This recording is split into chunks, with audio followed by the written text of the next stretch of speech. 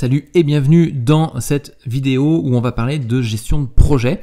Euh, on va parler de gestion de projet, de projet informatique d'ordre global, mais euh, concrètement, quand on parle de gestion de projet en règle générale, on va s'adresser à, différents types de projets, quels qu'ils soient. D'accord? La seule différence, la seule variante qu'il va y avoir, c'est tout simplement que quand on va parler de projet informatique, on va avoir une connaissance métier euh, qui sera plus poussée dans cette thématique, mais on pourrait très bien faire de la, gestion de projet, par exemple, sur de l'événementiel. Donc, tout ce que l'on va voir dans cette vidéo, ce ce des éléments qui sont adaptables à n'importe quel type de gestion de projet et il faut aussi bien comprendre que ce que l'on va aussi voir dans cette vidéo, euh, ça va s'adresser plus à un public euh, qui n'a pas de connaissances, de compétences en particulier dans la gestion de projet qui voudrait s'améliorer dans ce domaine-là. Donc, on va voir ça euh, sous plusieurs angles, notamment on va parler de cahier des charges, on va parler d'expression du besoin, les différents euh, documents qui vont nous permettre de piloter et de savoir ce que l'on a à faire et ce que l'on doit faire euh, dans un projet. Puis on va parler aussi un petit peu de rôle, parce que bien évidemment il y a potentiellement plusieurs rôles dans une, dans une gestion de projet. Alors, la première chose euh, que l'on va mettre en place quand on va gérer un projet d'ordre global informatique, alors quand je dis un projet informatique, ça peut être un projet web, ça peut être euh, un projet de type application mobile, euh, application de bureau, ça peut être aussi un projet de comment dire de, gestion d'infrastructure, de, mise en place d'une infrastructure dans une entreprise, donc bah, infrastructure réseau par exemple. Donc ce qu'il faut bien euh, comprendre, c'est que tout va commencer par un document entre guillemets officiel qui va être aussi euh, contractuel entre guillemets, c'est-à-dire que c'est le cahier des charges.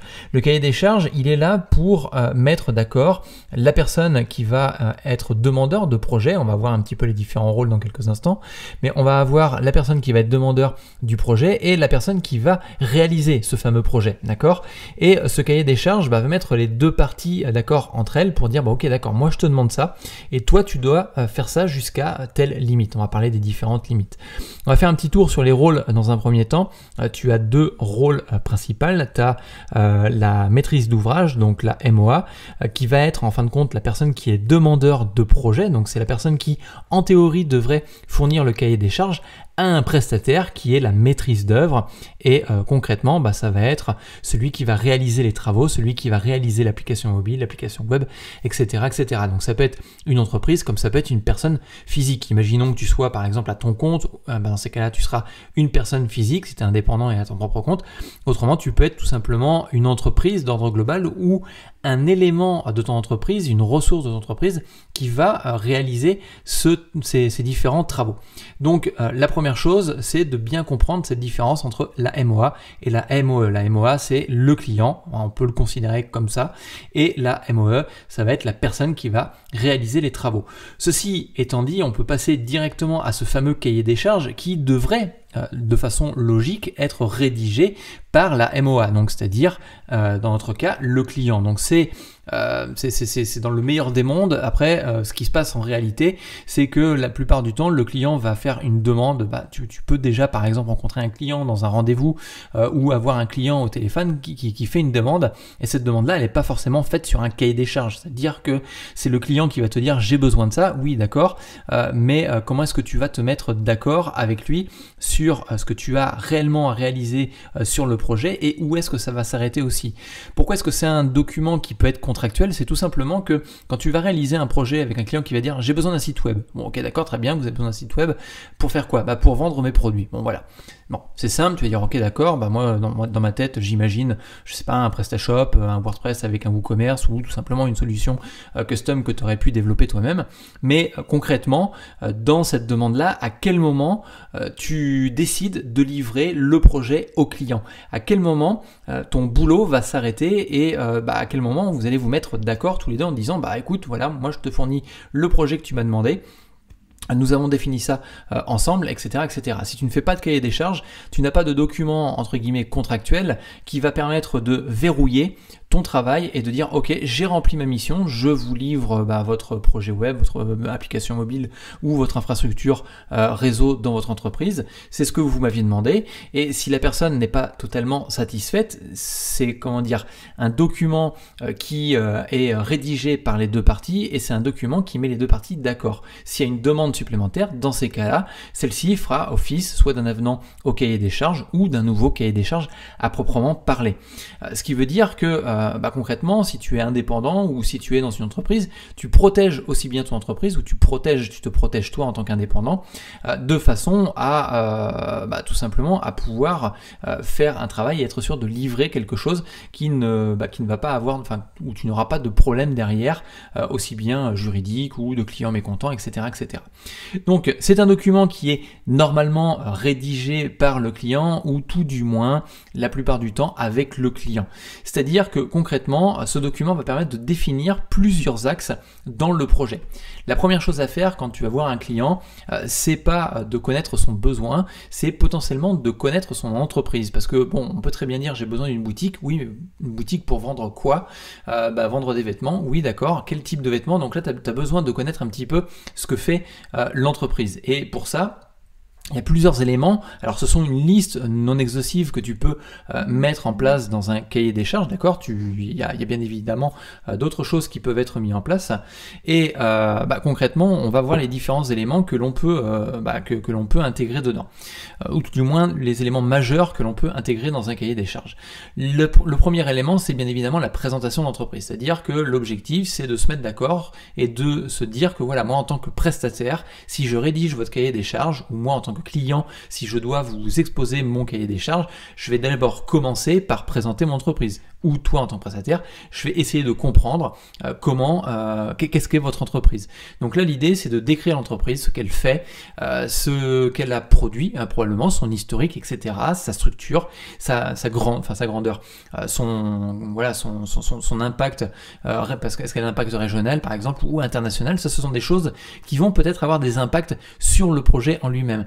Si je prends l'infrastructure et réseau, par exemple, enfin tout ce qui est infrastructure réseau, eh bien, pour le coup, entre une entreprise euh, qui est simplement euh, dans une ville avec, euh, ben, je sais pas, juste, juste un bureau, enfin juste trois bureaux où tu as simplement quelques lignes téléphoniques, et puis une entreprise qui est internationale avec plusieurs systèmes de sauvegarde de dossiers, etc., etc., ça sera pas du tout la même charge de travail que une simple petite entreprise qui potentiellement pourrait faire le, la, même chose au final, d'accord? On pourrait très bien imaginer une entreprise qui fait, je sais pas, de l'administratif, mais à différentes échelles.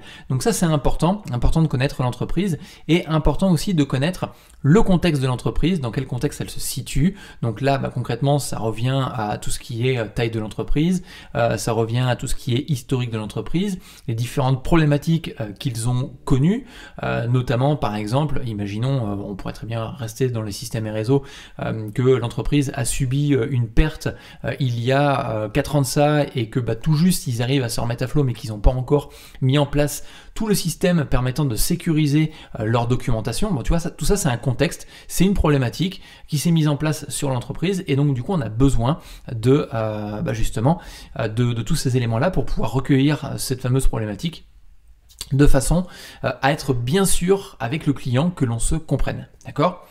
Ensuite, il y a un autre point, euh, un autre point qui est bah, très important et qui est voire même le plus important, c'est quel est le besoin de l'entreprise. Qu'est-ce que l'entreprise veut concrètement euh, dans, euh, dans le projet qu'elle va te commander, qu'elle va commander à l'entreprise dans laquelle tu peux travailler. Donc là, très succinctement, en règle générale, quand je rédige un, rédige pardon, un cahier des charges, ça va se tenir sur un petit paragraphe qui explique que l'entreprise a besoin d'un système de sauvegarde de ses fichiers, etc., etc. Enfin voilà, tu vois le, concept en lui-même. Et euh, dans la foulée, euh, on va euh, mettre en place une autre, un, autre point qui va être la description des fonctionnalités générales. Parce que le besoin et les fonctionnalités, ce sont deux choses différentes. Le besoin, c'est clairement le besoin principal que va avoir l'entreprise. C'est vraiment le cœur de son métier et c'est ce qui va, bah, notamment par exemple sur la sauvegarde de documents, c'est ce qui va être le besoin principal. C'est-à-dire que l'entreprise a besoin de sécuriser ses documents pour pérenniser son entreprise à, long terme et ne pas refaire deux fois la même erreur. Voilà, ça, ça peut être un besoin euh, qui reprend le contexte, qui reprend la problématique, etc., etc. Maintenant, les fonctionnalités associées à ça, c'est qu'est-ce que l'entreprise a besoin comme fonctionnalités autour de ce besoin. Notamment, peut-être que l'entreprise euh, a besoin dans les fonctionnalités euh, d'avoir des accès euh, privilégiés pour la direction et d'autres accès différents, par exemple, pour les employés, le staff mm, qu'il y a dans l'entreprise. Donc là, on a des fonctionnalités supplémentaires qui vont s'ajouter. Si je change et que je sors un petit peu du contexte des systèmes et réseaux sur une application web de vente de, je sais pas, de, de, fringues, par exemple, eh bien, pour le coup, ça va être le besoin, ça va être bah, de pouvoir commander des articles, des, articles dans une boutique, d'accord, de pouvoir bah, même enfin, les acheter, de pouvoir peut-être avoir un accès réservé, et puis peut-être aussi d'autres fonctionnalités qui sont pas vraiment associées à la commande directe, mais des fonctionnalités un petit peu cachées qu'on ne voit pas forcément, et notamment, bah, par exemple, ça peut être l'envoi d'email, ça peut être l'envoi de promotion, ça peut être plein de fonctionnalités différentes. Alors on va parler de fonctionnalités générales et de fonctionnalités un petit peu plus détaillées. Dans les fonctionnalités générales, on va rester succinct. En règle générale, ce que le client va demander, euh, si on prend le cas d'une boutique en ligne, le client va demander je veux vendre, euh, le besoin ça va être je veux vendre mes produits en ligne, mes produits, mes fringues, mais je sais pas ce que tu veux. Euh, et les fonctionnalités générales, bah, c'est j'ai besoin que la personne puisse avoir son panier et commander sur son panier, d'accord? Et puis bah, potentiellement peut-être que la personne va avoir besoin euh, d'éditer euh, son contenu, donc ça c'est une autre fonctionnalité, ou encore de créer des offres, de créer des promotions sur son propre site. Donc tu vois là on est dans, du, dans la fonctionnalité, on est un petit peu plus détaillé que le besoin. Ensuite, tu vas voir la présentation des différentes contraintes. Alors les différentes contraintes, c'est ce qui va euh, un petit peu euh, te poser problème dans euh, comment dire dans, la création de ton projet. prenons l'exemple des systèmes et réseaux. Alors ça serait un petit peu déconnant de dire ça, mais concrètement que tu n'aies pas accès absolument à tous les tous les éléments, c'est-à-dire que tu seras obligé de travailler avec quelqu'un d'autre qui lui aura accès à tout, tout l'infrastructure. Toi, tu es juste prestataire et on va euh, temporairement te donner un accès, par exemple. Ça, ça peut être une contrainte, ça veut dire que tu as une démarche administrative à mettre en place. Alors, c'est pas une grosse contrainte, notamment, ça n'a pas un impact énorme sur le projet, mais la contrainte euh, peut avoir euh, un, impact plus important sur le projet. Notamment, par exemple, si tu prends une boutique en ligne, parce que bon, le domaine du web, c'est quelque chose que je connais un petit peu plus, en termes de contraintes, on pourrait imaginer la chose suivante. La personne a déjà une boutique en ligne, donc ça, c'est pas forcément une contrainte, mais par contre, elle utilise un système de paiement qui est peut-être obsolète, d'accord? Donc ça, ça va rester euh, une contrainte, c'est-à-dire que le client utilise certes une, euh, solution obsolète, mais elle souhaite la conserver. Donc ça peut être une contrainte pour ton projet, d'accord? C'est une contrainte relativement simple. Euh, l'idée, c'est pas non plus, tu as des contraintes beaucoup plus complexes, d'accord? Mais bah, l'idée, voilà, c'est d'essayer de t'expliquer à quel moment ça peut te poser problème. Donc toi, tu vas utiliser une, une technologie qui est un petit peu obsolète, qui potentiellement peut avoir des failles de sécurité. Donc ça veut dire que dans ta prestation, d'accord, dans que tu vas délivrer au client, il faudra peut-être que tu prennes des précautions justement sur cet aimant-là. Alors ça peut être des contraintes euh, qui sont liées euh, à la technologie, mais ça peut être des contraintes qui sont liées au contexte, d'accord, de l'entreprise, à la problématique globale de l'entreprise. Donc les deux peuvent être liés au bout d'un moment. Ensuite, tu as la présentation des différentes limites. Alors, les limites, contrairement aux contraintes, c'est ce que le client va t'autoriser, enfin, c'est euh, jusqu'où euh, le client va t'autoriser à travailler et dans quelle mesure euh, tu vas pouvoir réaliser le projet. C'est-à-dire que c'est un petit peu à cet endroit-là où tu vas dire au client, OK, moi, ma limite va s'arrêter simplement à la livraison de votre, je sais pas, de votre application web de vente de fringues en ligne, d'accord, avec le système de paiement et ça va s'arrêter là. D'accord euh, On se met euh, d'accord à ce moment-là, c'est-à-dire que moi je ne m'arrête uniquement, enfin je ne fais uniquement que le site web qui va permettre de commander euh, les articles en ligne et en même temps le système de paiement.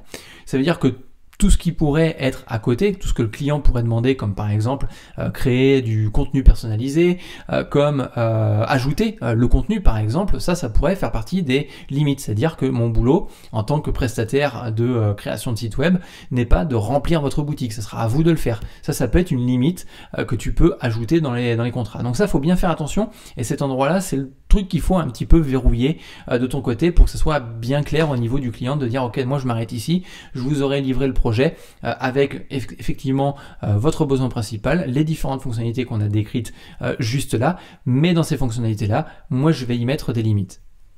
Donc voilà, et puis potentiellement aussi la présentation du budget. Alors pourquoi est-ce qu'on va parler de budget? Euh, Parce que en règle générale, quand tu vas, euh, quand tu vas définir, si c'est toi qui définis euh, le, le, cahier des charges avec le client, tu peux potentiellement dire au client est-ce que vous avez un budget pour ce, ce type de prestation? Dans, alors, tu as, deux cas possibles. Tu as le premier cas où le client euh, va te dire oui, j'ai un budget, c'est 50K, puis euh, ce sera pas au-dessus. Donc, dans ces cas-là, bah, tu feras essayer de faire, enfin, tu, tu feras avec tes 50K. Mais tu as d'autres cas possibles. Notamment, le client peut être en attente d'un devis de ta part. Donc, ça veut dire qu'il n'a pas forcément de budget. Ça va être à toi de lui faire une proposition budgétaire euh, sur, ta, sur ta prestation.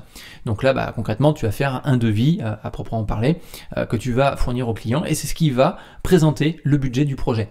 Après, il y a d'autres cas possibles, euh, notamment euh, les projets qui sont alors sur la gestion de projet en agilité. Alors on va pas rentrer dans l'agilité parce que c'est un autre type de gestion de projet, mais euh, dans la gestion de projet en, agilité, tu as la possibilité d'avoir des ce qu'on appelle des budgets qui sont reconductibles d'une année à l'autre. C'est-à-dire que le prestataire va tout simplement dire voilà j'ai un budget de 20 000 euros pour l'année 2019 ou 2020, enfin peu importe quand tu regarderas la vidéo eh bien, euh, pour cette année-là, on va s'arrêter aux 20 000 euros, puis dans ces cas-là, on va essayer de développer le maximum de fonctionnalités en fonction de ce budget-là, et on reprendra l'année suivante. Donc voilà un petit peu les différents cas que tu peux retrouver en termes de budget. Il en existe certainement d'autres, mais c'est les cas les plus euh, courants euh, que l'on va pouvoir retrouver. Maintenant, euh, voilà, le cahier des charges est fait. Euh, c'est un document qui va être signé euh, entre les différents prestataires, c'est-à-dire que ben voilà, tu vas signer de ton côté ton, document. Et puis de l'autre côté, le client va faire exactement la même chose. Et vous vous serez mis d'accord sur bah, simplement une charge de travail qui sera à réaliser et qui pourra être facturée en fonction des différentes contraintes, des différentes limites et de ce que le client aura demandé. Alors associé au cahier des charges, il va y avoir aussi d'autres documents document que l'on peut euh, utiliser et notamment un document qui va se rapprocher un petit peu du cahier des charges, c'est pour ça que je te le présente, mais il n'est pas toujours euh, mis en place, d'accord? Pardon il n'est pas toujours mis en place.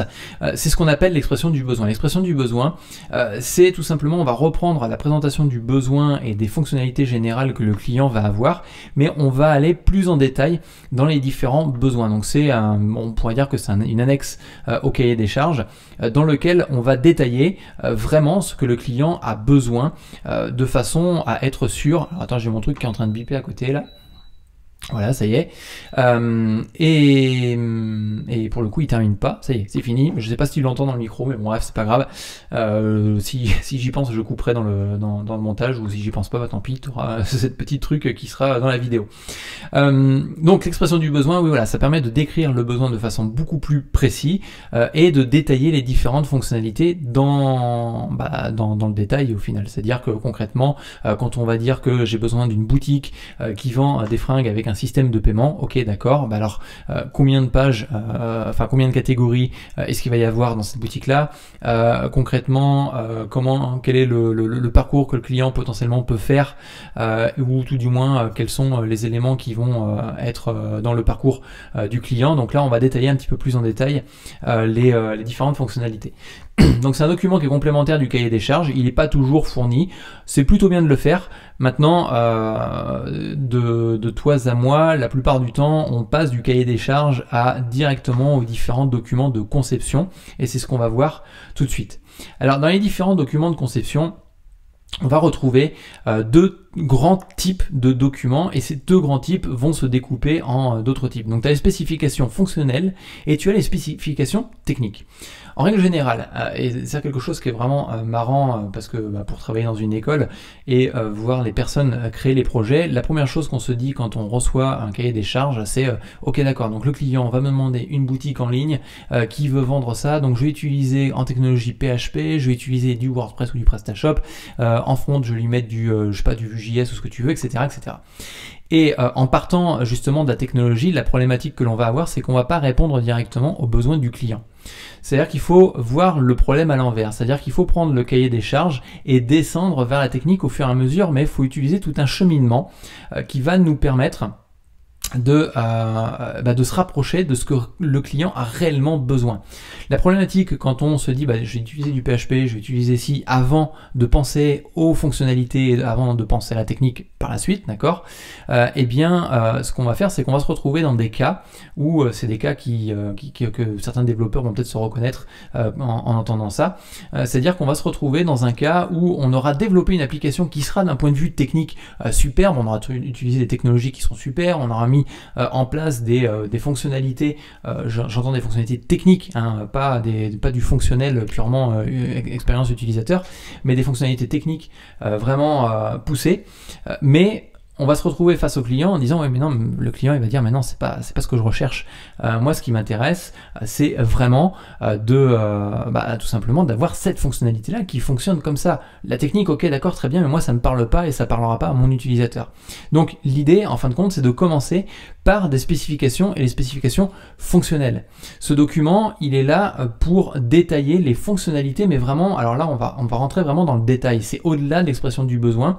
L'expression du besoin ça reste encore un peu euh, générique. Alors ce qu'il faut bien comprendre aussi dans ces documents, je ne l'ai pas précisé, mais c'est que le cahier des charges va parler au client, d'accord, et va parler euh, au chef de projet en même temps. Donc euh, concrètement, si tu es à ton propre compte, dans ces cas-là, c'est à toi. si tu es dans une entreprise et que tu as le rôle de chef de projet, tu es, le, tu, tu es la personne à qui ça va te parler. Euh, ce document, il est très générique, c'est-à-dire que tout le monde devrait être capable de le comprendre. La secrétaire de l'entreprise doit être capable de le comprendre. Euh, je sais pas, n'importe quel technicien devrait pouvoir comprendre le cahier des charges. Et puis après, on va descendre d'un niveau. Euh, on va descendre d'un niveau qui va parler à certains types de personnes. Notamment, par exemple, le cahier des charges va parler aussi à un commercial. Le commercial va peut-être rédiger le cahier des charges avec euh, le, le, client, va le donner au chef de projet. Le chef de projet va le transformer, alors en expression du besoin potentiellement, mais surtout en dossier de conception. Et dans ces dossiers de conception, il va rentrer plus dans les détails et créer d'autres documents, des documents qui vont être les spécifications fonctionnelles générales et détaillées, donc euh, SFG et SFD. Ces deux types de documents, notamment les spécifications fonctionnelles générales, euh, vont parler à, des personnes qui sont assez novices dans le domaine du développement informatique, dans le domaine euh, dans lequel tu te trouves actuellement. D'accord? Donc c'est encore un document qui peut euh, parler au client. C'est-à-dire que c'est encore un document qui peut être fourni au client en disant OK, nous en termes de comment dire de conception, parce que là on rentre dans la conception, en termes de conception, de façon générale et de façon plus détaillée sur vos fonctionnalités, on a pensé à ça. Et dans ce document, on va voir un petit peu les différentes informations qu'on peut retrouver, mais dans ce document, on va avoir quelque chose que le client peut encore comprendre ou que le commercial peut encore comprendre pour pouvoir le proposer au client. Après, quand on va parler de fonctionnalités, détaillées, euh, ce sont des fonctionnalités qui vont euh, plus euh, être axées au niveau des développeurs, au niveau des personnes qui vont réaliser l'application. Alors, qu'est-ce qu'on va retrouver comme information dans ces fonctionnalités, enfin dans ces spécifications fonctionnelles, d'accord? On va retrouver, alors encore une fois, il y a beaucoup d'autres choses que tu peux rajouter dedans, bien évidemment.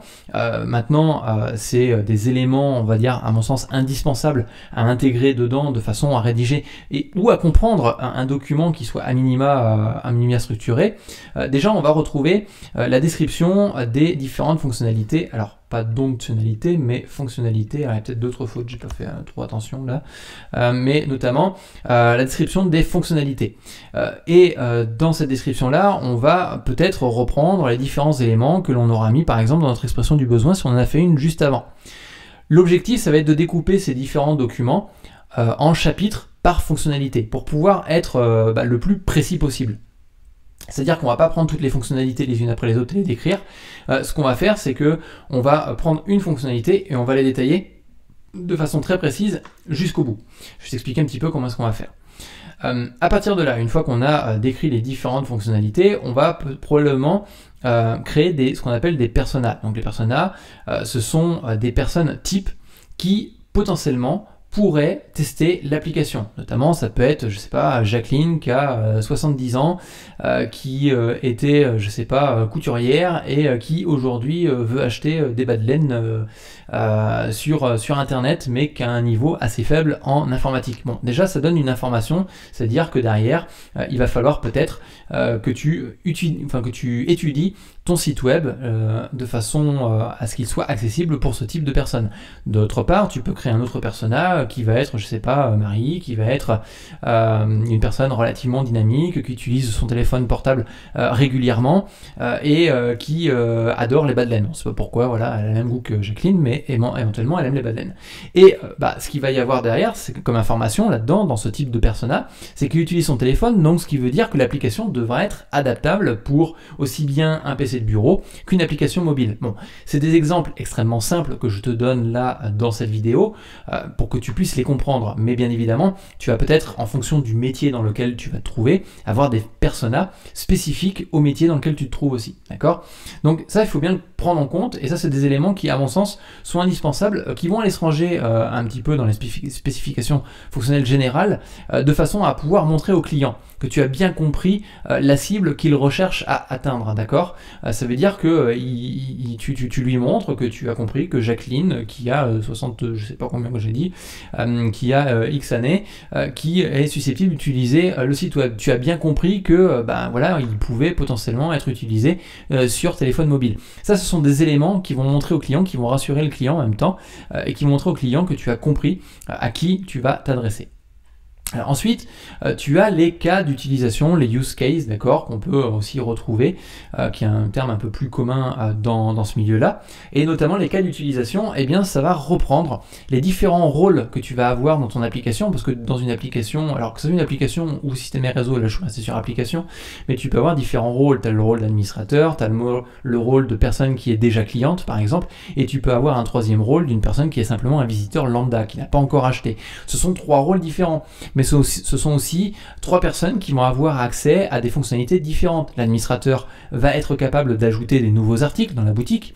La personne qui a déjà acheté euh, des articles va être capable d'accéder aux commandes qu'il a réalisées, mais par contre, il ne sera pas euh, pour lui possible de pouvoir euh, ajouter de nouveaux articles. Donc tu vois qu'il y a une différence entre les deux. Et puis bah, le visiteur lambda, lui, il n'a pas de compte, il n'a rien du tout, il ne peut que visiter le site.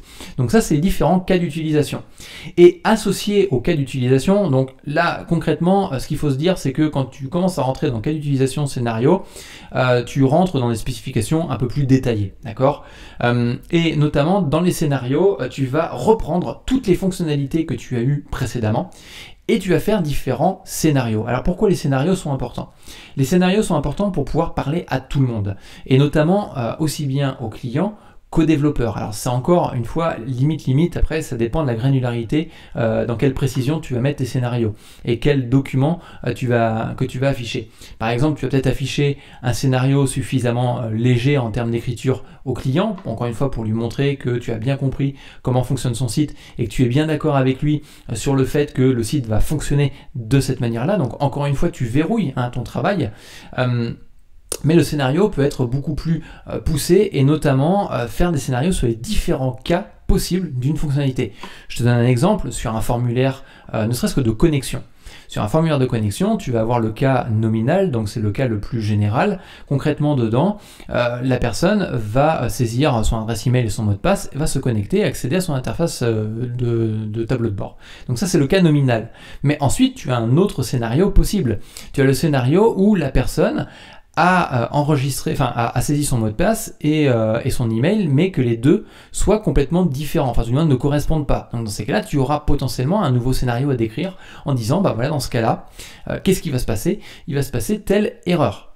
et puis, bah, tu vas continuer dans les scénarios parce que tu as beaucoup de cas possibles, notamment sur un formulaire d'inscription. Tu as le cas où la personne a saisi une adresse email qui n'existe pas ou qui n'est pas un client dans la base de données. Donc là, bah, concrètement, tu vas euh, te retrouver dans un autre scénario possible. Et là, tu n'es que sur une seule fonctionnalité.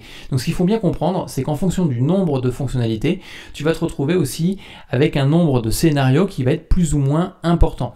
Et le fait de prendre du temps, alors ça c'est quelque chose qu'on a souvent du mal à comprendre, enfin comprendre, à, se mettre dans la tête euh, quand on veut développer une application, mais le temps que l'on passe à rédiger les scénarios, c'est du temps en moins que l'on a à réfléchir pendant le développement. Ça veut dire que quand on va développer l'application, ça sera beaucoup plus simple, beaucoup plus facile de développer cette application parce qu'on n'aura pas à réfléchir à ok d'accord, donc il faut que je gère ce cas-là, il faut aussi que je gère ce cas-là, il faut aussi que je prenne en, euh, en compte ce cas-là, etc., etc.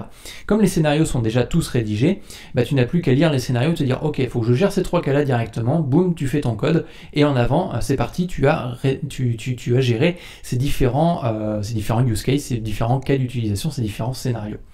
Donc tu vois que les scénarios sont relativement importants. Alors va euh, en découler des scénarios à un autre document qui, je pense qu'on en parlera dans, les spécifications techniques, que l'on va appeler le cahier de recettes. Le cahier de recettes, c'est tout simplement, alors au, niveau des, des, spécifications fonctionnelles, tu peux te retrouver aussi avec un cahier de recettes qu'on va appeler un cahier de recettes fonctionnel. C'est-à-dire que c'est tout simplement un document qui va expliquer comment fonctionne l'application et ce dont le client doit s'attendre à avoir quand il va renseigner tel ou tel type d'information. Notamment nos trois scénarios euh, au niveau de l'inscription. Euh, tu pourrais très bien inventer euh, bah, X données possibles et dire au client, bon bah voilà, quand vous tapez, je sais pas, telle adresse email avec tel mot de passe, vous êtes censé vous connecter. Est-ce que c'est bien le cas? Oui, c'est le cas. Dans ces cas-là, ça veut dire que c'est validé. Ensuite, quand vous renseignez à telle adresse email avec ce mauvais mot de passe là, vous devez avoir tel message d'erreur oui effectivement j'étais le message d'erreur. Et tu vois que en te disant ça justement à l'oral comme ça là, euh, tu t'aperçois que derrière tu es indirectement en train de faire valider ton travail par le client par un document qui sera un autre document contractuel, qui sera un cahier de recettes qui va se transformer en procès verbal euh, par la suite, qui va prouver que tu as rempli ta mission et que tu as rempli toutes les fonctionnalités que le client t'a demandé. Et euh, grâce à ça, euh, tu vas pouvoir te verrouiller si toi par exemple tu es indépendant ou tu vas pouvoir verrouiller euh, les, comment le travail de ton entreprise. Enfin, dans les spécifications fonctionnelles, un autre document qui me semble indispensable et qui va très bien parler aux clients, euh, c'est les maquettes. Et les maquettes vont être associées aux différents scénarios. Tu vois que tout est lié en fin de compte. Les, cas d'utilisation, les scénarios, les maquettes, euh, puis le persona, en fait, tout ça va en découler. Euh, et on va en découler les maquettes. Donc les maquettes, bah, c'est tout simplement le rendu plus ou moins visuel. Alors tu as différents niveaux dans les maquettes. Hein. Tu as, tiens, je peux les même les rajouter ici. tu vas avoir tout ce qui est zoning, d'accord? Euh, tu vas avoir tout ce qui euh, zoning, je sais plus si ça prend, c'est une zone, d'accord, zoning, ça doit être un N. Euh, tu vas avoir tout ce qui est wireframe. Tu vas avoir tout ce qui est je crois que c'est Moonboard, ça s'écrit comme ça, il me semble, je ne me rappelle plus. Alors je, et puis euh, tu as d'autres documents euh, comme, comme, comme, comme, comme, alors attends, qu'est-ce qu'on va retrouver euh, Et puis tu vas retrouver aussi bah, tout ce qui est prototype par exemple, d'accord? Alors il en existe d'autres, mais je t'avouerai que le vocabulaire sur le maquettage, j'ai plus trop en tête. ça fait un moment que je enfin voilà, je sais à quoi correspondent les différents éléments, mais concrètement, si tu as aussi ce qu'on appelle le style tile, voilà. Euh, qui sont différents documents euh, associés euh, aux différentes maquettes. Alors le zoning, bah, c'est les principales zones de ton site web, d'accord? Tu vas avoir un en-tête, un pied de page, une sidebar, le contenu principal, voilà, tu as ton zoning. bien évidemment, en fonction des différentes vues sur ton site web, tu vas avoir comment dire, un zoning différent. tu peux aussi ajouter à ce niveau-là un plan du site, du site web, enfin un, un, plan, un plan du site web ou un plan infra, parce que si on prend infrastructure. Euh, voilà, euh, si on prend l'infrastructure et réseau, ça peut être un plan de l'infrastructure. Donc euh, là concrètement, dans le maquettage, alors tu vas pas retrouver ce même maquettage aussi dans les infrastructures, donc là il y a une certaine limite quand même au fait d'être générique, mais notamment tu, donc, tu vas voir le wireframe, tu vas voir le moonboard, le, le, style tile. Alors le moonboard par exemple, c'est tout simplement la récupération de plein de petites idées à droite à gauche, par exemple dans le domaine sportif, tu vas reprendre des captures d'écran d'un site web X, peut-être des captures ou des photos de canettes sponsorisées par tel, je sais pas, euh, tel, tel élément, enfin tel, euh, tel organisme de sport ou autre chose. Et donc tu vas rassembler ça dans une espèce de planche de façon à proposer au client en disant ok on a récupéré des petites idées comme ça. Euh, est-ce que c'est des choses qui correspondent un petit peu à votre image? Et à partir de là, tu vas pouvoir en définir, bah, par exemple le style tile, qui est bah, les, les, éléments qui, est une planche avec les différentes couleurs principales, les différentes fontes principales, peut-être quelques icônes que, qui vont se retrouver sur cette maquette là. Et enfin, bah, tu as le prototype, donc le prototype, on est bien d'accord, euh, c'est euh, l'élément que tu vas potentiellement proposer au client euh, pour lui montrer euh, quelque chose d'un peu fini. Alors après le plan du site, pour, te, pour, pour, finir là-dessus, le plan du site c'est la structure globale que va avoir le site web. Donc là on, reste dans les toits, on n'est pas dans le détail, hein, d'accord? Enfin on n'est pas dans le détail, on est dans les spécifications fonctionnelles détaillées, bien évidemment, mais euh, on reste encore dans le fonctionnel. Et à partir du moment que tu as fait le fonctionnel, c'est là que tu peux attaquer les spécifications techniques. Parce que quand tu as bien répondu aux besoins fonctionnels de ton client, derrière, bah, tu vas être, ça va être beaucoup plus facile pour toi de savoir ce que techniquement tu as réalisé dans ton application. Et notamment, on va retrouver deux autres documents, euh, les STG et les STD, donc fonctionnalités, euh, enfin les spécifications techniques générales et détaillées. Et dans ces différents documents, alors encore une fois, euh, je suis resté de façon très générique, mais bien évidemment, il y a beaucoup plus d'éléments à mettre à l'intérieur. notamment, tu vas voir les différentes technologies que tu vas utiliser. Donc là, tu vas parler de langage de programmation, tu vas potentiellement parler de framework que tu vas pouvoir utiliser, d'outils de développement, d'outils X ou Y liés au développement en lui-même. Euh, tu vas aussi euh, mettre en place euh, les différents fonctionnements de l'application. Quand j'entends fonctionnement de l'application, ce sont des diagrammes qui vont s'ajouter. Alors je ne vais pas mettre le nom des diagrammes, mais je t'en parlais comme ça à l'oral. tu vas avoir par exemple des diagrammes de classe, des diagrammes de conception de base de données. tu vas avoir des diagrammes d'activité qui vont montrer comment fonctionne ton application à différents niveaux, à différents par exemple au niveau front, au niveau applicatif et au niveau base de données. Donc tous ces éléments-là, ce sont des éléments qui vont constituer ce fameux dossier de spécifications techniques de façon à montrer très précisément comment celle-ci va fonctionner bah, au, cœur de, ton application.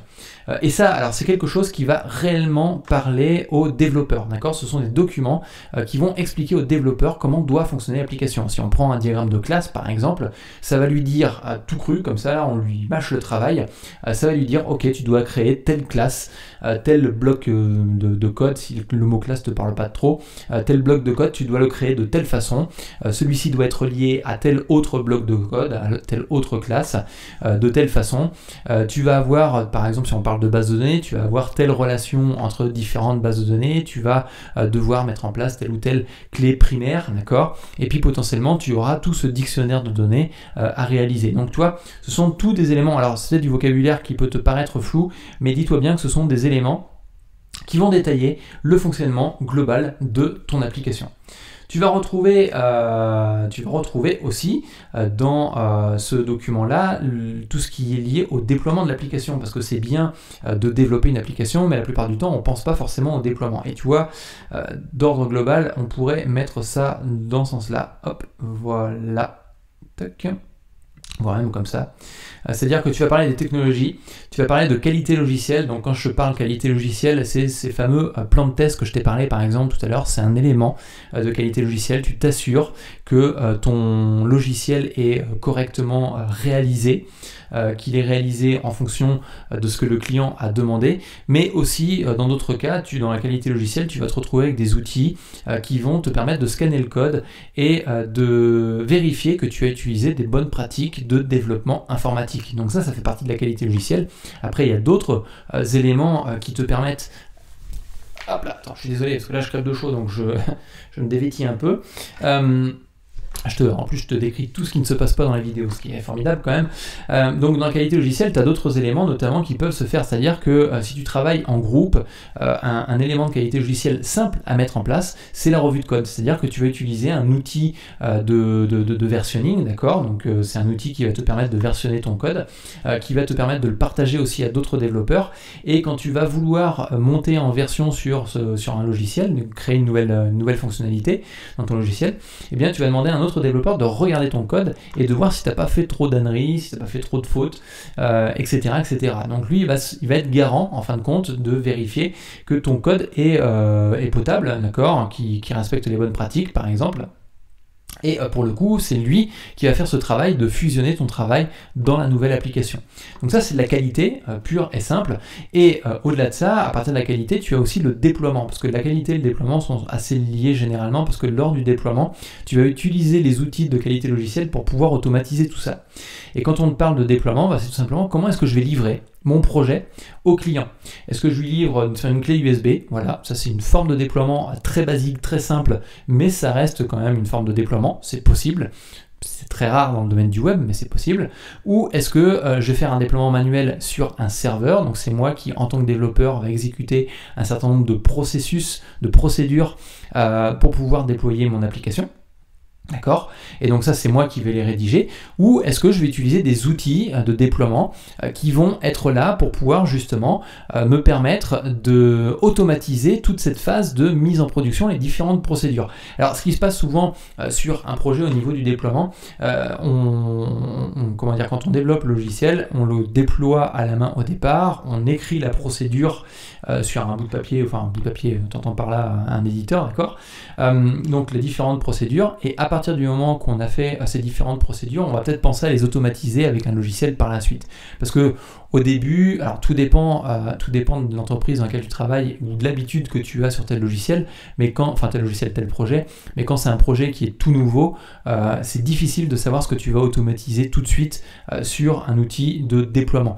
Après derrière, maintenant il existe beaucoup d'outils qui te permettent de d'avoir des templates, des templates de projets qui sont facilement automatisables en termes de déploiement derrière.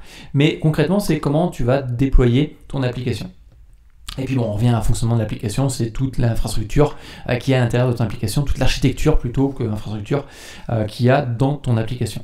Donc voilà les deux gros documents euh, qui vont te servir et ces documents de conception vont être là pour bah, justement driver enfin driver, au-delà de driver, vont te permettre de piloter le projet et de dire à ton équipe, si tu gères une équipe, ou de te dire à toi-même, d'accord, que tu, enfin, ou tout du tu dois penser à réaliser telle et telle chose dans ton projet. Alors, quand on parle de euh, penser justement à réaliser telle ou telle chose dans le projet, euh, tu as des outils de gestion de projet. Là, on est vraiment dans la gestion de projet à proprement parler. Euh, mais ces documents-là, comme étant faisant partie de la gestion de projet, on est obligé de les décrire. Et ces outils-là vont avoir aussi un impact sur ta gestion de projet. Notamment, tu as différents outils. Bien évidemment, encore une fois, il en existe d'autres, mais je te présente les principaux, outils qui existent.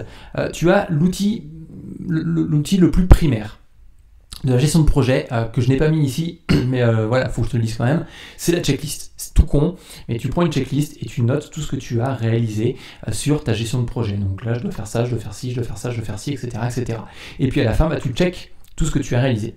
Alors ça c'est bien, euh, mais sauf que la, problématique de, euh, la checklist, c'est qu'elle a tendance à ne jamais se terminer. Et l'idée justement de la gestion de projet, c'est de pouvoir terminer un projet, c'est de pouvoir finaliser tout ça. Euh, en règle générale, moi je vais des outils comme le WBS, le Gantt, je vais t'en parler dans quelques instants, de façon à structurer d'ordre général mon projet, et je vais utiliser plus la checklist au niveau justement de ma conception technique, des petites choses que j'ai à réaliser tout de suite là dans l'immédiat, mais que je suis en train de penser, mais que je n'ai pas forcément mis dans ma documentation parce que quand tu fais ta conception, tu ne penses pas forcément à tout. Ce n'est pas, c'est pas possible de penser à tout, euh, surtout sur une phase de, gestion de, enfin, de, conception de projet. Euh, donc, bah, tu vas forcément penser à des choses supplémentaires derrière qui sont indispensables et qui font partie de ta conception. Donc, ce sont des choses qui sont partie, qui font partie intégrante de ta conception, mais que tu n'as pas forcément noté dans ta conception et que tu vas te mettre sur une checklist. Donc, dans un premier temps, je vais créer un WBS, donc c'est euh, euh, un, docu un, document euh, qui a pour objectif de lister l'ensemble de tes tâches par catégorie. en règle générale, dans ce document-là, je ne l'ai pas forcément mis, mais ici, je vais avoir les tâches administratives, voilà. je vais avoir les différentes tâches de conception, et ensuite, dans les tâches de conception, tu vas avoir les tâches de réalisation. Et tu vas avoir les tâches de livraison. Voilà. Donc là, c'est d'ordre général, c'est-à-dire qu'en tâche administrative, qu'est-ce qu'on a à faire? Ben, En règle générale, dans les tâches administratives, on va se retrouver à faire la conception, le cahier des charges, le devis. Euh, peut-être que si tu es sur une application euh, qui demande des, euh, des, éléments purement juridiques, tu vas avoir besoin de rendez-vous vers des, bah, des, soit des experts comptables, soit des avocats, etc. etc. Donc ça, c'est toutes les, tous les, éléments administratifs que tu as à réaliser sur le projet. Dans le domaine de la conception, bah, c'est tous les points de conception que tu as à avoir à mettre en place réalisation va en découler de la, enfin, va en découler de la conception la réalisation. Donc ce sont toutes les tâches euh, qui vont être à mettre en place dans la réalisation. Et c'est souvent là que tu dis ah tiens euh, dans ma réalisation j'ai oublié de mettre ça dans mon dossier de conception. Donc du coup tu vas aller rajouter des choses à cet endroit-là. Ça arrive assez euh, assez fréquemment. Mais tu vas voir qu'on a un autre document qui va te permettre justement de te dire ah oui j'ai oublié ça j'ai oublié ça j'ai oublié ça. Et puis après, tu as les différents éléments de livraison. Donc, c'est qu'est-ce que tu vas livrer au client, d'accord? Et comment est-ce que tu vas le livrer d'ordre global, donc par un moyen d'automatisation, par exemple. Donc le WBS euh, est un outil euh, que tu vas euh, très souvent associer au Gantt, d'accord? On va en parler dans quelques instants, mais un deuxième outil qui est intéressant, c'est le PBS. Donc, alors le premier, c'est associé au travail, d'accord? À la notion de travail. Le deuxième va être associé à la notion de projet en lui-même. C'est-à-dire que je t'ai dit, le WS, c'est les tâches générales sur ton projet. Ce ne sont pas les tâches qui sont associées à ton projet en lui-même. C'est-à-dire que, enfin, à ton produit, d'accord? Euh, euh, c'est product, c'est pas project, c'est product ici. Pro, product. Euh, qui vont être associés à ton produit. Le produit, c'est ce que tu vas livrer au client. Et notamment dans ce produit-là, bah, tu vas justement dire que tu as tel élément à créer, notamment tu vas avoir peut-être une branche à chaque fois. alors si on prend liste des tâches liées au, pas au projet, mais au produit, voilà. Euh, ici, bah, tu vas avoir par exemple euh, bah, la fonctionnalité numéro 1. Et dans cette fonctionnalité numéro 1, tu vas avoir la tâche. La tâche 1. Euh, tu vas avoir la tâche numéro 2. Alors, je vais y arriver la tâche numéro 2, etc., etc. Et puis bah, ensuite, tu vas avoir une fonctionnalité numéro 2, une, fonctionnalité numéro 3, etc., etc. Donc tu comprends euh, le, fonctionnement, euh, ce qui va te permettre, en fin de compte, à partir de ce, de ce document-là, euh, de pouvoir reprendre toutes les fonctionnalités qui sont associées. C'est pour ça que je t'ai dit que c'était important de décrire les fonctionnalités ici. Donc là, tu vas avoir fonctionnalité numéro 1, numéro 2, numéro 3, numéro 4 qui vont être décrites. Et ici, tu vas les mettre à cet endroit-là, fonctionnalité numéro 1, numéro 2. Et dans les différentes tâches, tu as peut-être des tâches techniques, notamment dans les tâches techniques, ce qu'on a dit derrière, c'est qu'on avait besoin d'outils de qualité logicielle, et notamment d'outils de test, donc des cahiers de recettes. Donc potentiellement, dans une de tes tâches, tu vas avoir cahier de recettes pour cette fonctionnalité-là. Et euh, bah, c'est ce fameux cahier de recettes qui va te permettre de déclencher le procès verbal que tu pourras faire signer au client. À partir de ce document-là, euh, du, PBS et du WBS, alors tu vas retrouver en fin de compte euh, dans la conception un bout de ton PBS. C'est probable, euh, notamment en fonctionnalité 1 et 2, tu vas les retrouver dans la conception et la réalisation. C'est possible que tu aies une petite redondance et des fois, ce qui se passe, c'est que dans ta réalisation, tu vas la découper, tu vas le remonter d'un cran et ça va te faire, ça va transformer ton PBS. Ensuite, à la suite de ce document justement WBS et du PBS, tu vas avoir le Gantt. Alors, qu'est-ce que le Gantt? Le Gantt, c'est tout simplement la liste de toutes tes tâches que tu as mis dans ton WBS, d'accord? Hop, là, je sais où ce que j'étais, voilà. Euh, alors, hop, euh, j'ai décalé mon WBS ici, voilà, c'est ça. Bon, on va le remettre ici. Donc, euh, ce qui se passe, c'est que euh, tu vas reprendre toutes tes tâches de ton WBS et tu vas les mettre dans ton Gantt. C'est-à-dire que dans ton Gantt, tu dois retrouver exactement le même nombre de tâches qui découlent de ces différentes catégories et de façon ordonnancée. Qu'est-ce que j'entends par ordonnancée? Ça veut dire qu'elles vont avoir un ordre logique. Notamment, euh, quand tu vas avoir tes tâches administratives, on est bien d'accord que tu vas pas aller voir l'expert comptable ou le juriste avant d'avoir rédigé le cahier des charges. C'est complètement logique, mais le WBS n'est pas là pour justement ordonnancer, pour, pour ordonner à tes tâches, il est juste là pour penser aux différentes tâches que tu as réalisées et de les catégoriser dans certains éléments. Maintenant, le Gantt va être là justement pour catégoriser, euh, tes, euh, catégoriser, ordonner euh, tes différentes tâches. De dire, ok, donc en premier, je vais avoir besoin de rédiger mon cahier des charges. En second, je vais avoir besoin d'aller voir les juristes, par exemple. En troisième, je vais avoir besoin de faire ma conception. Ensuite, je vais avoir besoin de faire ma réalisation. Alors, je, je, je, dis ça d'ordre générique. Bien évidemment, sur chacun des points que je te dis là, il y a plein de sous-petites tâches. D'accord? Ce sont des éléments essentiels, enfin, qui, qui, qui sont descendants de ces grosses tâches-là. Et donc, à partir de là, tu auras mis un ordre bien précis sur ces différentes tâches. Maintenant, il y a aussi quelque chose qu'il faut comprendre avec le Gantt, euh, notamment quand tu vas réaliser une tâche en particulier, euh, si on prend par exemple le fait de euh, créer le, par exemple le, formulaire d'enregistrement et le formulaire de connexion, ce sont deux tâches qui peuvent être faites l'une après l'autre. Notamment, tu tu peux faire le formulaire d'enregistrement et après le formulaire de connexion, ce qui semblerait logique. Sauf que comme tu vas utiliser des outils assez sophistiqués, tu vas te retrouver à avoir la possibilité de monter une équipe et de dire, bah voilà, toi en tant que ressource numéro une de mon entreprise, donc euh, un employé X ou Y, d'accord, tu vas faire le formulaire d'enregistrement, et toi en tant que ressource numéro 2, employé numéro 2, tu vas faire simultanément D'accord Le formulaire de connexion. Donc ça veut dire que tu vas avoir deux tâches qui au départ devaient être dépendantes l'une de l'autre et vont se retrouver à se faire en parallèle, on va dire en même temps. Et c'est ce, que va permettre le Gantt, il va te permettre de gérer les différentes ressources de ton équipe et de savoir quelles tâches tu peux faire de façon simultanée. D'accord? Et enfin, bah, il y a la gestion du temps. Donc dans la gestion du temps, c'est combien de temps tu vas attribuer à chacune des différentes tâches euh, dans ton Gantt. Notamment, par exemple, le formulaire d'enregistrement peut peut-être prendre un peu plus de temps. On va dire que ça va prendre un jour et demi à faire un bon formulaire d'enregistrement. Et le formulaire de, euh, de, login, par exemple, ne prendra que un jour ou une demi-journée. Donc ça veut dire que derrière, tu vas avoir deux tâches qui vont être faites simultanément par deux personnes à deux intervalles de temps différentes. Ce qui veut dire que ta deuxième ressource, tu pourras peut-être lui attribuer une autre tâche en simultané, mais euh, bah, qui, correspond à une autre fonctionnalité euh, un peu plus tard. Et c'est comme ça que tu vas pouvoir gérer l'ordre des tâches, gérer les ressources de ton équipe et en même temps de gérer le temps sur chacune euh, de, tes tâches et de ton équipe.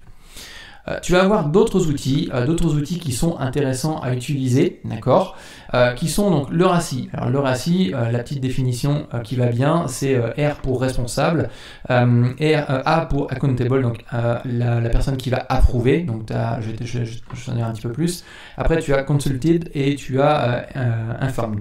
Donc ces différents, ces différents rôles qu'il va y avoir dans un projet, notamment qui va être responsable de faire la gestion de projet Voilà, c'est la question à se poser. Donc dans ces cas-là, tu auras plusieurs personnes. C'est un tableau Excel. D'un côté, tu vas avoir les différentes, euh, tu vas avoir les, différentes personnes, euh, et de l'autre côté, tu vas avoir, enfin les différents, comment dire, différentes fonctionnalités. Et de l'autre côté, tu vas avoir euh, les personnes qui sont soit responsables, soit approuveurs, soit qui vont être consultées ou informées. Donc si je prends un exemple, euh, sur bah, une gestion d'entreprise d'ailleurs, si on revient un petit peu sur le système et réseau, euh, sur la gestion des ressources.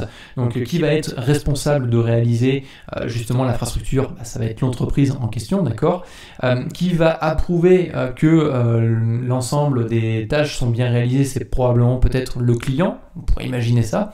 Euh, par contre, on va peut-être consulter euh, le, comment dire, le, SI de l'entreprise en question euh, de façon à pouvoir avoir des informations. Peut-être que c'est même lui qui va approuver. Des fois, le SI va avoir le rôle d'approuveur et de personne à consulter. Et puis la personne à informer, bah, c'est potentiellement, par exemple, les salariés de cette entreprise, de dire que voilà, attention, vous allez être informé qu'il va y avoir ça qui va se mettre en place. Donc voilà les différents euh, éléments. Alors je t'invite à aller voir parce que le RACI c'est vraiment un document euh, très particulier.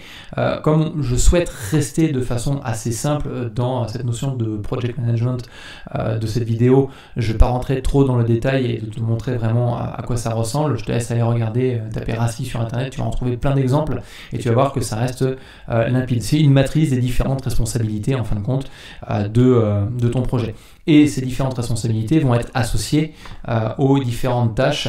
Euh, donc c'est euh, associé aux différentes tâches de ton WBS. C'est-à-dire que tu vas pouvoir reprendre ton WBS et mettre les tâches dans ce tableau-là et définir qui va être responsable, qui va être approuveur, qui va être consulté, qui va être informé. et notamment par exemple, qui va être, je sais pas, on va consulter, par exemple, les juristes. Euh, et puis euh, potentiellement, euh, je sais pas, on pourrait très bien imaginer d'autres choses. Bon là, j'ai plus trop d'idées sur ce principe-là, mais voilà comment est-ce que tu peux utiliser ce type de document. Donc là, l'objectif, c'est de dire qui est responsable de quoi. Et encore une fois, ça te permet de te protéger en tant que, en tant que de prestataire de service. Et notamment, par exemple, si tu as besoin d'un approuveur dans ton, dans, ton, dans, ton, projet et que cet approuveur prend du retard, concrètement, tu peux attribuer ce retard-là à la personne qui était censée approuver la tâche à telle date, etc. etc. Donc tout ça, vraiment, ce sont des éléments qui sont maillés les uns avec les autres, et notamment, par exemple, bah, tu vois, tu as un Gantt où tu gères des ressources et du temps. Euh, dans ce temps-là, tu as l'approuveur qui, qui, prend un peu de retard, bah, forcément, dans ton Gantt, ça va euh, peut-être impacter certaines autres ressources et certaines autres tâches bah, dans, ton, dans ta gestion de projet. Tu as ensuite le planning. Alors le planning, euh, qu'est-ce qui va te permettre? Il va te permettre? bah, déjà d'avoir un planning sur quand est-ce que tu vas livrer euh, les différents euh, jalons de ton projet. D'accord? Donc un jalon, c'est tout simplement une étape intermédiaire, notamment d'expliquer à ton client, bah voilà, aujourd'hui, certes, vous ne voyez pas grand-chose sur le site web, mais par contre, nous avons euh, mis en place toute l'infrastructure de qualité logicielle. Alors ça, il n'est pas censé le savoir, bien évidemment, mais euh, notamment, on a mis en place juste les fondamentaux du site web. Euh, maintenant, voilà, tu as un jalon qui va peut-être trois mois plus tard, ou peut-être deux, trois semaines plus tard, tout dépend de la grosseur du projet, et tu vas lui expliquer que voilà, ici, vous retrouvez simplement les fonctionnalités du site sans la partie graphique purement, juste fonctionnel. Comme ça, ça te permet bah, de mettre un jalon intermédiaire et de dire, voilà, sur chacun des jalons, alors potentiellement ce que tu peux faire aussi, c'est là que c'est intéressant, sur chacun des jalons, tu peux faire des déclenchements de paiement. C'est-à-dire que si tu es indépendant, euh, de dire voilà, premier jalon, euh, tu demanderas bah, par exemple 33%, deuxième jalon 33%, et puis le reste du paiement euh, au dernier jalon, qui sera la livraison en soi. Mais concrètement, ça te permet aussi peut-être de définir des échelonnements de paiement, et notamment sur les très gros projets, parce que bien évidemment, il faut payer les salariés, il faut, faut, te payer toi aussi, et bah, tout ça est vraiment important. Ça te permet aussi d'organiser ton propre temps, mais surtout, dans cette organisation du temps, d'identifier les différents retards. C'est-à-dire que bah, forcément, quand tu as un jalon qui est en retard, ça va se voir très rapidement. Ça se verra peut-être moins sur le Gantt, euh, parce que le Gantt, tu peux tricher des fois un petit peu. C'est-à-dire que euh, quand tu vas euh, notamment attribuer un jour et demi sur du, formulaire, tu t'es aperçu qu'en fin de compte, c'était un peu trop et que la personne a réussi à le faire une journée, tu auras grappillé une demi-journée. Mais par contre, sur ton planning, tu resteras sur un jour et demi. Donc, tu vas avoir gagné un petit peu de temps sur ton projet et tu vas pouvoir identifier donc soit les retards, soit les éléments où tu as avancé. Donc le planning est très important. Et enfin, il y a un dernier élément euh, qui, à mon sens, est euh, uniquement lié au, chef de projet, enfin principalement au chef de projet. Euh, c'est ce que ce qu'on appelle le tableau de bord. Donc le tableau de bord, c'est tout simplement l'objectif, de connaître l'avancement de chacune des tâches. C'est un tableau relativement simple. Enfin, tu peux le faire relativement simple. Après, il y a des personnes qui vont le faire beaucoup plus compliqué. Notamment euh, dans ce tableau-là, tu vas avoir les différentes fonctionnalités et puis euh, tu auras l'endroit où est-ce que tu en es rendu dans cette fonctionnalité. Est-ce que c'est un endroit d'avancement euh, Est-ce que c'est tout du moins au moment de, tu es au moment de la conception? Est-ce que tu es au moment de la réalisation? Ou est-ce que tu es au moment de la livraison? Donc comme ça, ça te permet de dire ok, cette fonctionnalité-là, elle est livrée, celle-ci, elle l'est pas, etc., etc. Euh, après, bien évidemment, tu as d'autres euh, documents. Hein. Tu as des, documents qu'on va appeler de KPI. Donc, les KPI, c'est tout simplement des indicateurs euh, qui vont te permettre de savoir bah, des indicateurs soit de qualité, soit de temps, etc., etc., qui vont donner des informations beaucoup plus précises sur tout ton projet. Mais euh, l'objectif étant de rester relativement simple euh, et relativement euh, générique sur. Alors, hop là, j'ai dézoomé un peu trop. Voilà, de façon assez générique sur ce sujet-là, de façon à t'apporter un certain nombre de vocabulaire, un certain nombre de documents que tu vas avoir derrière. J'ai volontairement fait exprès au maximum, fait exprès de ne pas donner d'outils. Parce que euh, bah, concrètement, il existe énormément d'outils. Il y a des outils, euh, enfin voilà, il y a des outils euh, gratuits comme il y a des outils payants. J'ai pas envie de faire la promotion d'outils gratuits ou d'outils payants en particulier. c'est pas l'objectif non plus. Mais l'objectif pour toi, ça va être d'ailleurs peut-être de chercher un outil qui va te permettre de créer un WBS relativement simple. Là concrètement, un outil simple, c'est ce que j'utilise, c'est une mind map, d'accord. Bah, du coup, dans cet outil-là, moi, je mets en place mon élément si je pouvais le tourner, alors je peux pas le tourner là actuellement, mais euh, si je pouvais le tourner dans l'autre sens, ça me ferait un WBS. Euh, un outil de Gantt, tu as euh, des outils qui existent qui te permettent de, de générer des Gantt très facilement. Après, tu pourras trouver sur Internet, par exemple, des exemples de cahier des charges, des exemples de spécifications fonctionnelles ou techniques, etc. etc. Donc là, je vais t'essayer faire des recherches. Si tu as, bah, si tu as des choses, si tu as des questions à proprement parler, parce que du coup, on pourrait peut-être développer si ça t'intéresse ce sujet-là dans d'autres euh, format vidéo, mais si tu as euh, des, euh, bah voilà, des, des, choses qui peuvent t'intéresser, n'hésite pas à me mettre dans les commentaires ou à liker cette vidéo. Et sur ce, bah, je te dis à plus tard dans une prochaine vidéo. Ciao